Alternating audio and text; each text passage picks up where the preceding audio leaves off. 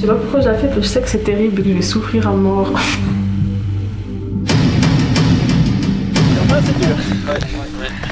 Après la première patrouille, une heure de temps, j'ai dit plus jamais. Dès que j'ai remis des pieds au pied, puis j'ai pu recommencer à faire une descente, ben, direct euh, j'étais accro et puis euh, j'avais besoin.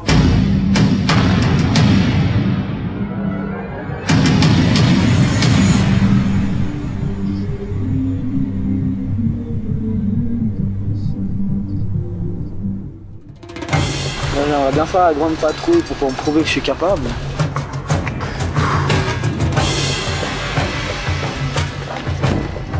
T'entends pourquoi on parle à côté c'est bien organisé, mais euh, ça prend du temps, c'est sûr.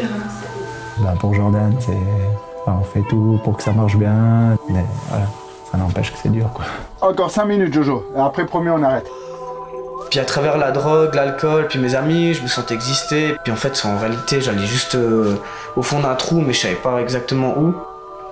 Plus le temps il passe, plus l'écart il, il se creuse, et puis euh, dans ces conditions-là, euh, je vois pas trop comment ça sera possible. qui a souffert dans ta vie. Et là, s'il te plaît, tu dois prendre le choix de ton bonheur, Florence. Après des mois d'entraînement, vous êtes prêt mentalement et physiquement pour cette épreuve qui vous attend et je ne peux que vous en féliciter. Vive la patrouille des glaciers 2016.